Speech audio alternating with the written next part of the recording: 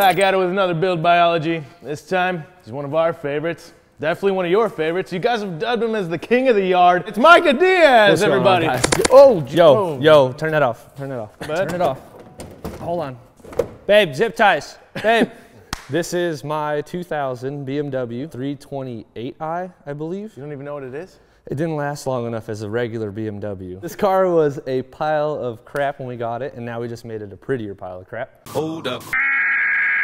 We interrupt our program to bring you this important message. So if you don't know it, on Hoonigan.com we have a notification squad, and we're giving away free things like the Torque Stallion steering wheel and a bunch of other junk that we find here in the Donut Garage. Why should you sign up to the notification squad? Well, you get early access to our videos, you'll get limited edition products first, and you might even get some special discounts too. So if you want a chance to win free stuff like the steering wheel off the Torque Stallion,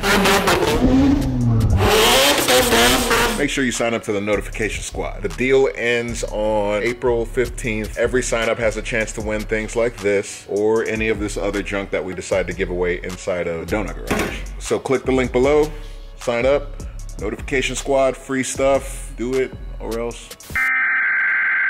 It's a 328 chassis, is what, from my understanding. I don't think these came in 325. Somebody can comment and correct me. All right, starting with the exterior, everything's changed, right? Absolutely. What do we got going on?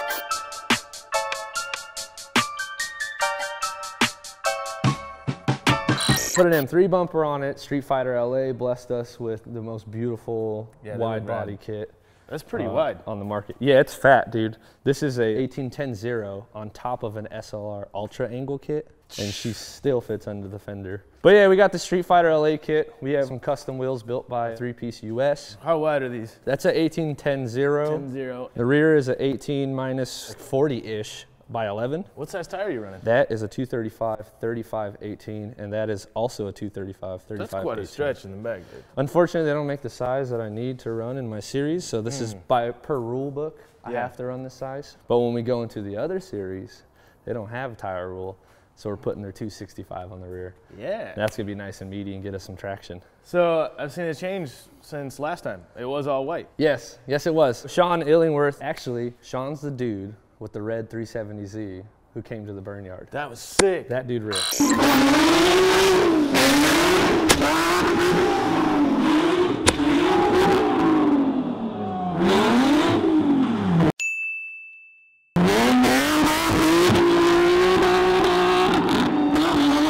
been working with Sean since maybe the last three seasons, and this is the 2019 setup that he came up with. Designed it, he printed it, he wrapped it, he did the whole nine yards. Factory doors. Factory doors. This is all metal doors. They still have the windows in them, which thank God, because our first round was raining. Yeah. So I got to roll those up. We have the plexiglass windows from Condor Speed Shop. Straight out the box, you throw them in, screw them on. Really? Yes. That's pretty cool, man. Did not have to cut it. They laser etch it. You can see the logo there. Laser. They laser etch the edge so that you can peel off just the edge, paint it black, install it, and then peel off the rest of it. and then it has sick. this nice black trim, just like factory windows. Wow. And my oldest brother, Steven Garcia, he made me these little protectors here, help protect the Street Fighter kit from when the tire explodes. Yeah.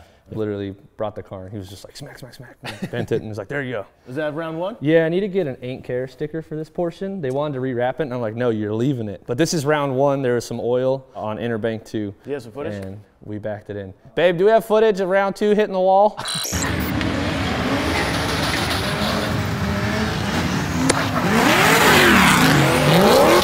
All right, man. Let's get to the interior. Let's get let's get what you got here.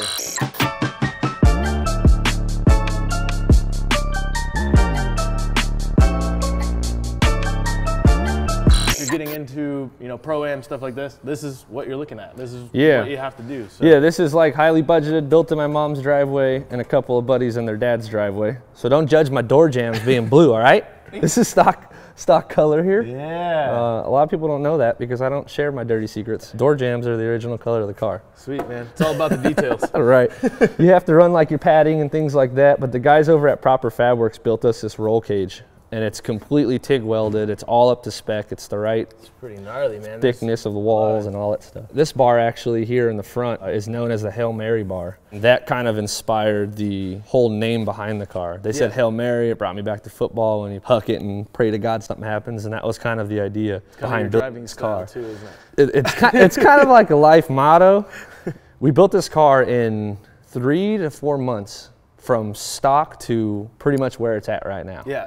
It was really, really fast, last minute decision. I told the wife, it's only gonna be like a couple grand, dude. All the stuff from the 36 chassis will swap over. it ended up being like 12 G's or something like that. And I was like, I'm so sorry. we went ahead and cut the dash all nice and high. I, we took that playbook out of some of the European guys out there that have these uh, chassis. And we did Yeah. the switch panel in there. My buddy Anthony from Proper Fab Works wired up the entire car, chassis harness and all. A delete panel there for the dash. So now we're running an AiM digital dash, MXS Strata, I believe. This thing can do so many more things than I'm even capable of understanding.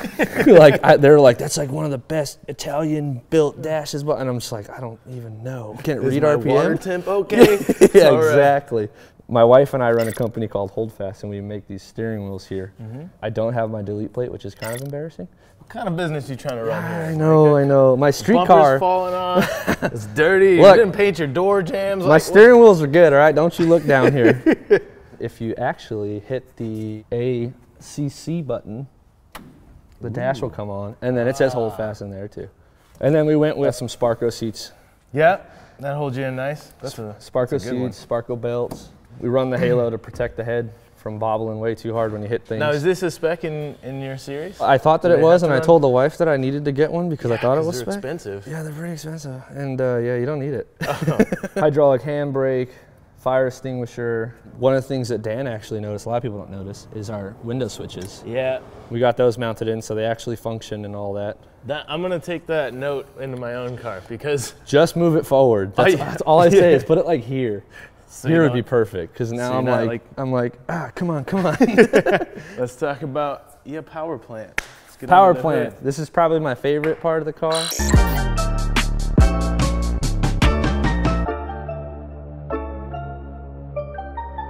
Guys over at CBM out in Rialto built me easily the sickest V8 I've ever had in my entire life. It's a 6.8 stroker engine, originally an LQ4, which is a 6.0 iron block out of like a uh, Tahoe and pretty much everything that Yeah. has a bunch of doors on it that's giant from Chevy or Yeah, GM. All bottom end work. So the crank, the rods, the pistons, and then it has uh, double valve springs, push rods, lifters, 360 trunnions for the rocker arms. and, uh, Trunnion? yeah, the trunnion. The Trunnion. trunnion. That's fun to say. yeah. Factory LS ones have a stop on them, so they can mm. only push so far with a bigger cam. And so they sell 360 ones where you can hold it by the trunnion and spin the entire rocker all the way around, so it eliminates any kind of lack of movement. Heads are stock, manifold stock, throttle body stock. And how much power is it putting out? 500 wheel horsepower. It's like 499.6, but I round up because Yeah, I'm like, I'm not gonna say 499. I look like a fool? 499.6 is a cool number. Give me a break though. 500. 500 horsepower. what are you hitting as far as RPM now? Cause I haven't really looked down. I just kind I of, figured you wouldn't. if it bangs and I'm like, okay, then maybe we should shift up. yeah. And I like the whole front end here too. This is nice. Yeah, the, the same guys, dudes at Proper, Frankie and Anthony and Clint, these dudes, they got down. We cut the frame rails and added in FD legal plating and all that stuff to mm-hmm. where we mount it to. But you can pretty much undo those two bolts, undo the four bolts on the bases. There's four up here, eight down there, undo them, and the whole front clip will slide off That's the car. awesome. That's you can easy to get the motor out and all that stuff too. Yep. This is a big old radiator, man. Yeah, so in my 36 chassis that I brought here a long time ago when Vin and I were doing donuts in the yard, that was the rear mount radiator that was in that car.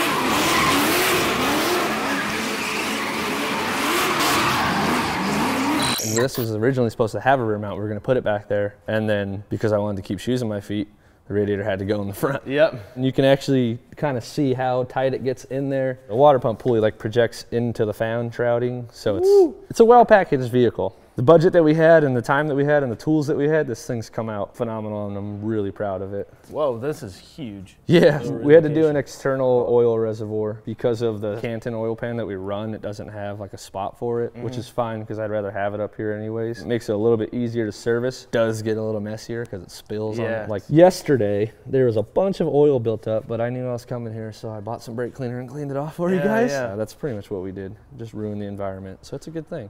But the car looks nice. But the car looks great. But let's get underneath it and see how much damage you've done to it. Ah, damn it.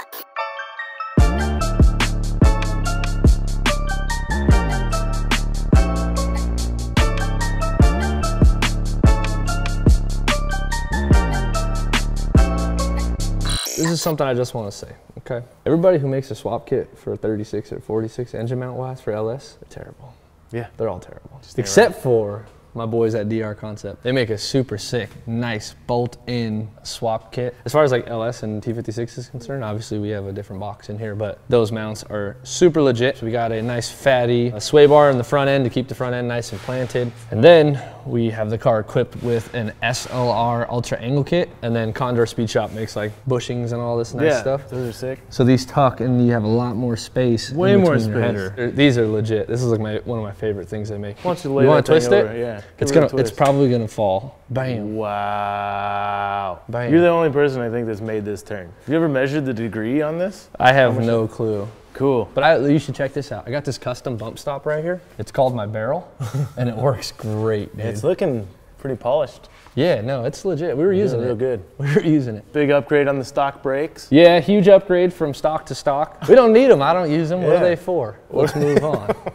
we also have these beautiful ER series BC coilovers, which worked phenomenal in the rain. Some fatty headers, American Racing headers. Uh, the Canton pan fits in really well with the DR Concepts engine mounts. Look at this bell housing. This it's is- like an old keg, man. You see, this is off my grandpa's tea bucket back in the day. Just kidding. My grandpa was a carpenter. He didn't give a shit about cars.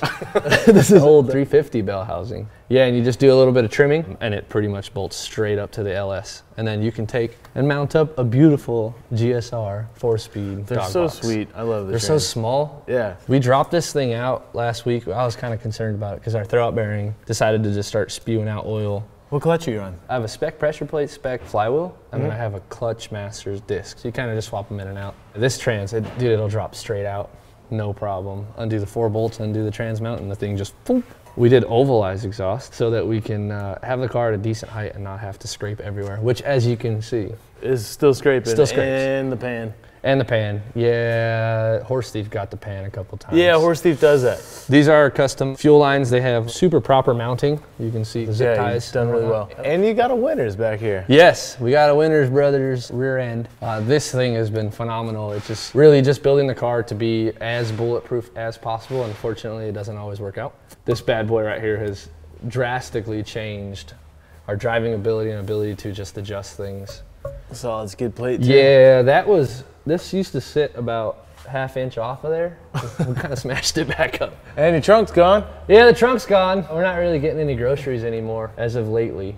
Solid battery mount. solid battery mount. You can do uh, pull-ups on it. I'm fortunately too weak to do it, so I can't show you. So these are super rusted out because I didn't powder coat them like the way the guys told me I should have. I clear coated them, and it is uh, not looking very well. These are proper Fabworks arms. So the guys who did my cage also sell these arms, and the upper arm has a check mark shape in it, and it allows for more clearance when you run your car at a lower height. I hit the wall at Irwindale.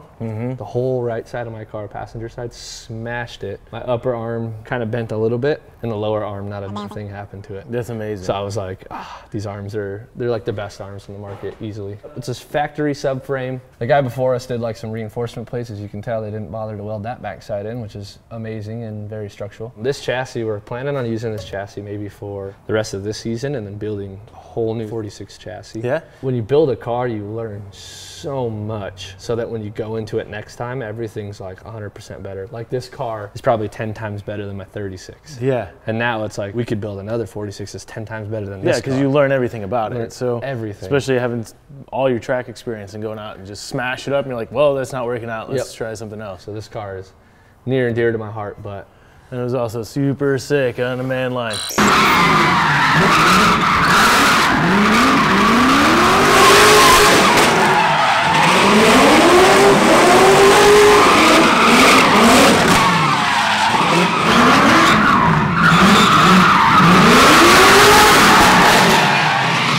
So what do you have left for this season, man? What are you doing? this season we are going to be going to the Burnyard. We're going to be finishing up the Drift League series, and then we're jumping over to Top Drift, and we're going to be competing in that with my new teammate Nick Franco. He's got a 36 chassis uh, with a 1J, so it's kind of cool to have Yeah. the two different styles, right?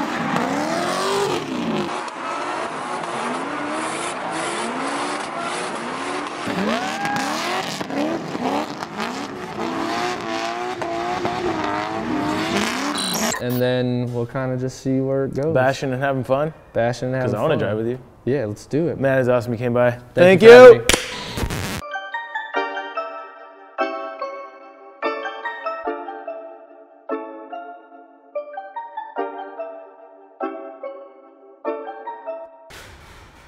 Bye. Bye.